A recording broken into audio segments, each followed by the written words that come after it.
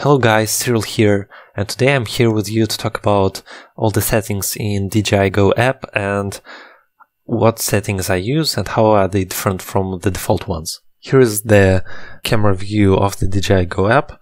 To go to the settings, you go, you press on the top right corner on the hamburger menu button and you have the menu settings. First one, the MC settings. I use a maximum altitude of 500 meters. This is different from the default one of 120 meters. I use no distance limit and the beginner mode is switched off. Next, gain and expert tuning. I leave everything at the default values of 0.4 for throttle, rudder, and uh, direction forward, backwards, right and left. I leave sensitivity at 100 brakes at 100, yaw endpoint at 150. Next, gains. All the gains are 100, and those are the default values. Next, advanced settings. I uh, switch multiple flight modes on. Enable IOC is switched off. Next, uh, fail-safe mode. The default failsafe value is uh, 30 meters. I I switched to between 50 and 100 meters. Let's set it to 100 meters. The behavior for RC signal lost, uh, I leave it return to home. Also, I leave the turn on arms LED lights and enable vision position systems, both the settings to on. Next, the sensor menu. It has two options to check IMU uh, status and to start IMU calibration. When you first receive your Phantom 3, always first check IMU settings and then uh, perform an IMU calibration when the Phantom 3 is uh, completely level.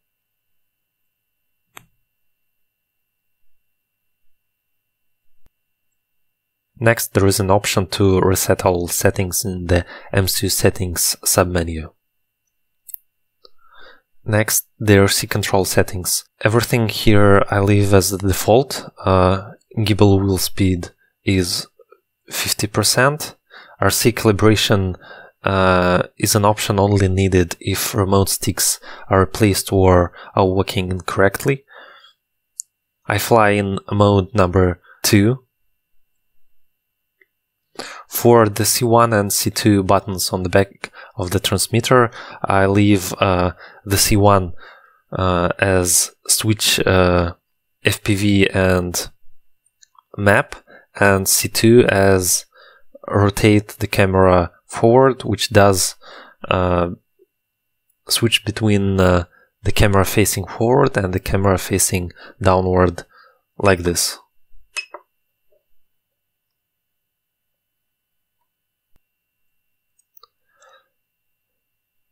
In the image transmission settings, there are actually no settings. It just shows uh, the link status and quality per channel. The aircraft battery settings, I set critical battery warning to 10%, low battery warning to 30%. I uh, switched the show voltage on main screen to yes, and I set the time to discharge to 2 days. Next, in the gimbal menu, I use the gimbal mode follow. Uh, the camera forward down uh, button is just the same as the C2 button. It switches the camera from the down to the forward orientation. The setting to adjust gimbal roll, um, it is used to fine tune the camera roll to level the horizon. Usually it is not required if uh, the gimbal is correctly calibrated gimbal auto calibration. Uh, it should be performed after IMU calibration or if the gimbal doesn't level correctly. Next, the advanced settings. It has uh, three user configuration slots. I use usually only one. I set the gimbal pitch uh, speed to 30. The default is 50. I switch the gimbal pitch limit to extended. I leave the gimbal yaw synchronous follow as on and um, I adjust the gimbal pitch uh, smooth to 10. The gimbal yaw smooth is 10 and I leave it as the default one. Next, the others submenu. Here I use the metric system. I switch uh, the options for mech calibration and enable AMAP to off because I'm not in China mainland. I switch uh, the flight route display to on. And also I leave uh, the video cache option uh, as on and the auto cleanup video cache also as on.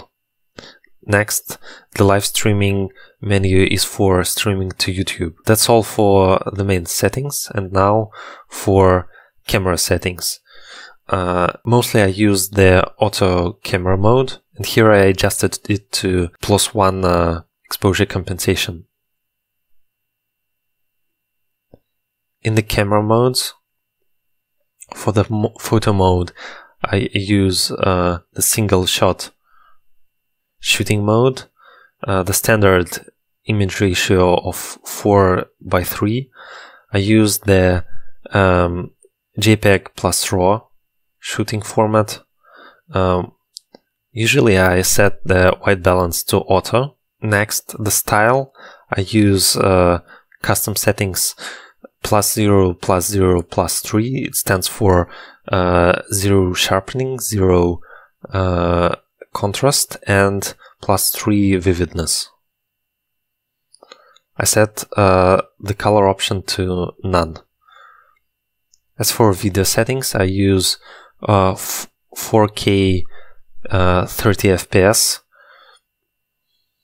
video format MP4, NTSC PAL I set to NTSC.